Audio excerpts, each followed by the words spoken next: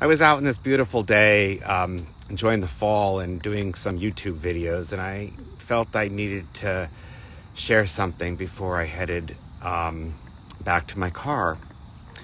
And I just wanted to talk about what it's like to follow the promptings. I, a lot of you know that I was in Colorado a few, um, about a month ago, and I had an Uber driver pick me up to take me to the airport and I'm going to show this to you, uh, is um, he's not on social media. There was something different about him that I knew he was a member of the church. And the last couple of weeks, but he became inactive. He became inactive because he felt that he it wasn't for him. And after he became inactive, he was scheduled to have his endowment about a year ago. And the night before, Satan came after him, started questioning his self worth, and he started to do things that wouldn't qualify him to enter the house of the Lord.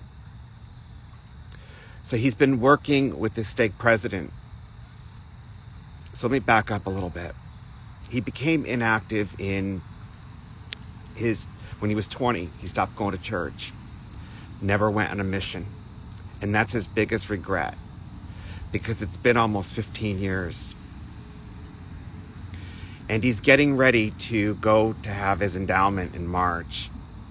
And I kept getting this prompting call him and tell him you want to be there for that special day if he would allow it. And this is what he said to me I was praying that you would come.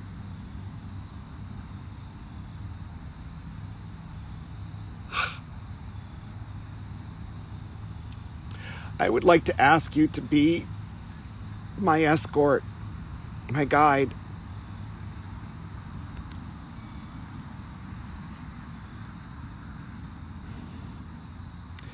I have never had that blessing of being a guide for somebody.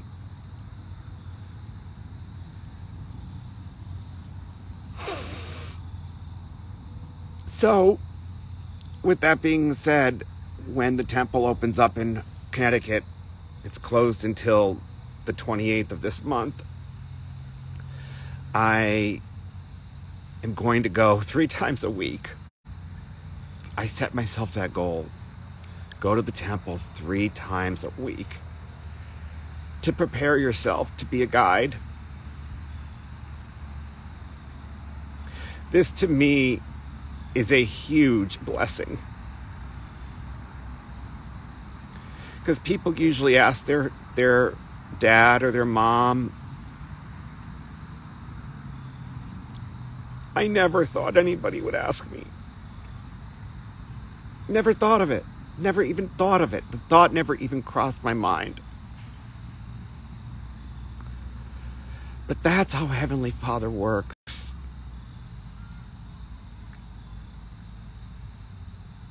When you don't expect things, they happen.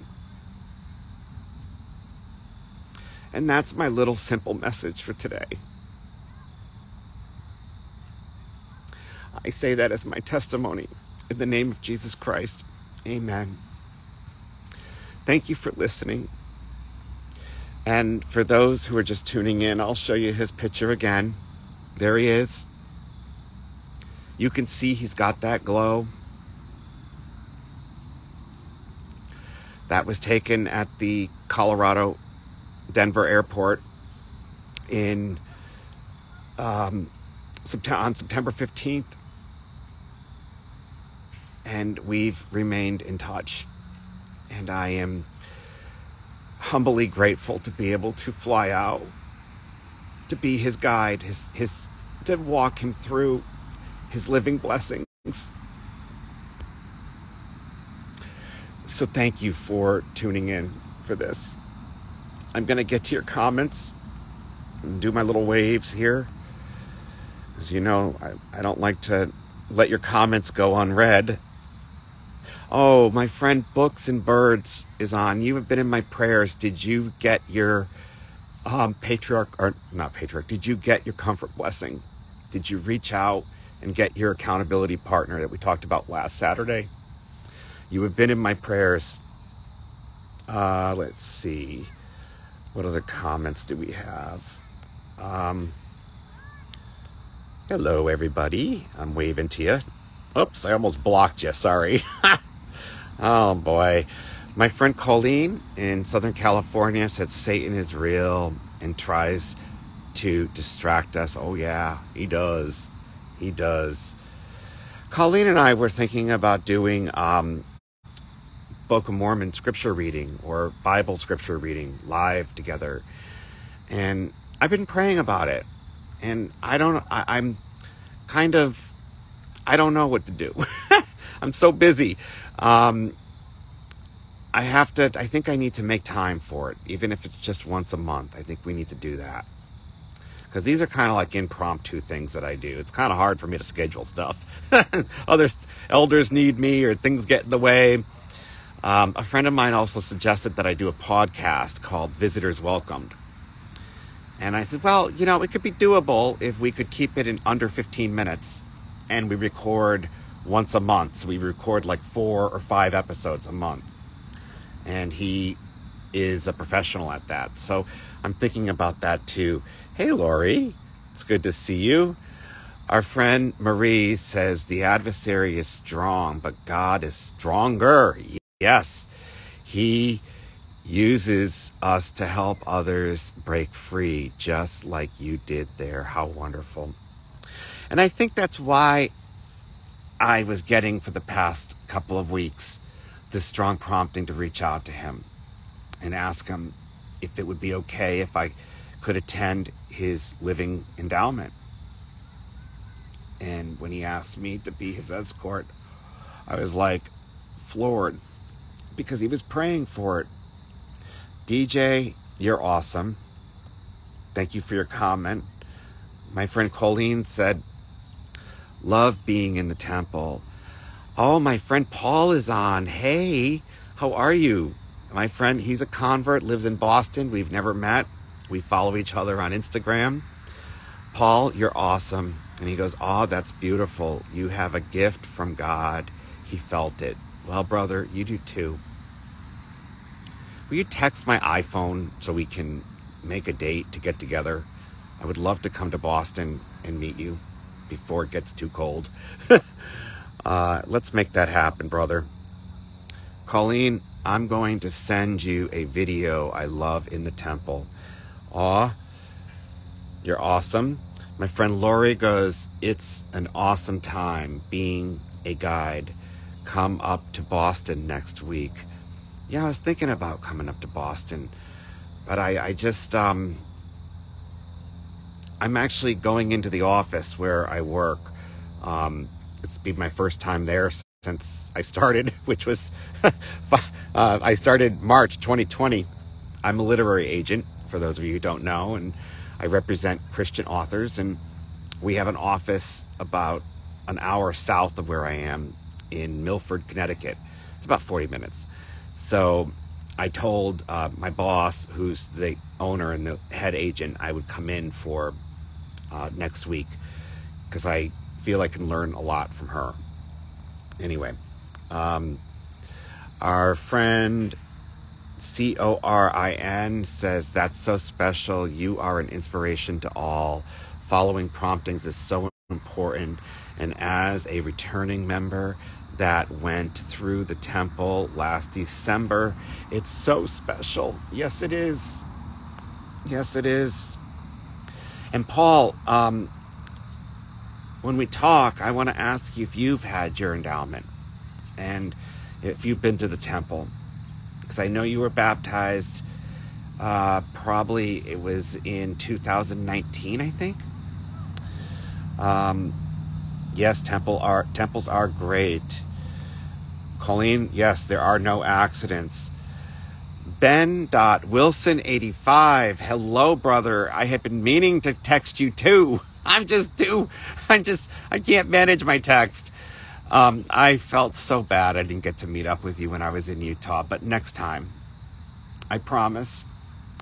Ben Wilson says it's great that you are a great friend to so many. Well, you're one of them, my friend. Don't forget that. And Books and Birds said, That's awesome, Dennis, but you still haven't answered my question. Did you get your comfort blessing that um, you you wanted? I want to make sure that happened.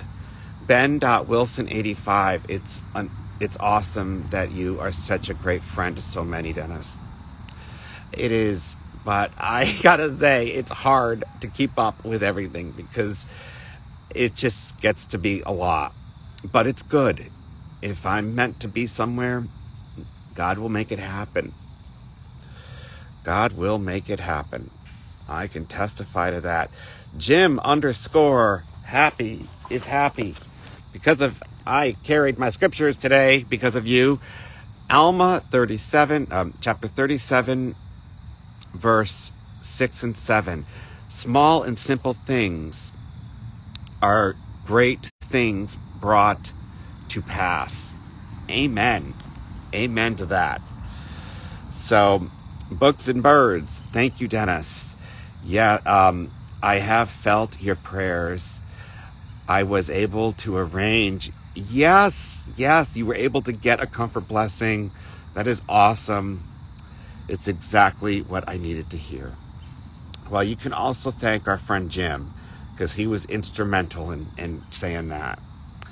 My friend Carrie says, Thank you for your bright, shining testimony. I brought, bought your book last week and I'm so excited to read it. Well, I'm so excited for you to read it too.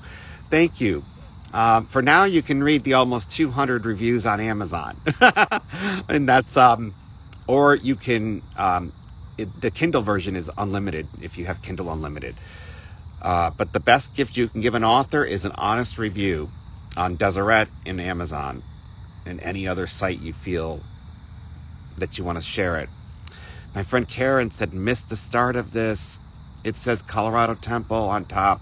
Yes, I did. I already um, finished it, but I will upload it to YouTube, my friend, like I always do. And you can watch it on there because it was a great story. I think people really felt the um, the blessings. Uh, my friend Lori getting closer to house moving, but need temple for its peace. Yes, you do. My friend R E B W A Y says, praying hands, always good to hear your stories of faith. Well, thank you. Um, and Lori, I can't go on Wednesday. I'm sorry, sister. Uh, Karen said, It's so wonderful to have many temples everywhere. No excuse to not attend often. You are right. But there are several people that go to um, the temple. There are those who, um, oh, my legs cr- falling asleep. Um, there are those who, you know, I'm going to turn this around because I want you to see this beautiful view here. So I'm going to turn this around so you can see what I see. Oh, there's my iPad. The sunset. The Connecticut River is over there. There's actually the boathouse. They're doing a wedding. And this is a beautiful park in the lovely town of Glastonbury, Connecticut. It's a dog park, actually. And there's my little setup right there. is that not hilarious? That's how I do um, sitting on the grass. My my buns are a little wet, but that's okay. And just look at that sky. Okay, so to get back to um, what I was saying to my friend Karen is, there are those that go to the temple only when they have a crisis or they're looking for answers, and there are those that go to the temple religiously every week on the same day, just like going to church, and that's um, so it's different for everybody. Everybody has different. Oh, my foot is definitely asleep. That is the worst feeling. I was sitting down too long doing videos. Sandy says, hello, I missed most of this. Oh, I know you have both girls. It's awesome. I saw part of your text. I haven't opened the rest yet. um, my friend C A R I R says, I was so blessed to be an escort for a little sister, for my little sister, because my parents left the church when I was 18. I was so thankful for that opportunity. What a blessing. What a blessing. Thank you for sharing that. And you know, we're going to keep your parents in our prayers because the doors are always open. Hello from Guana, uh, Ghana. That's awesome. Wow. I think today is your Sabbath. C O R I N N says, Will you ever come to the UK? I know there are a few of us in the LGBT community in the church love to do a temple trip. Well, my best friend Lorraine Wheeler lives in the UK and um, she sends me videos. We send each other little videos back and forth all the time.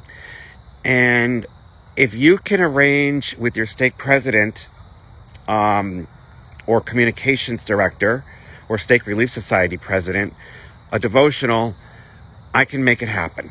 I can come out. I would love to do that.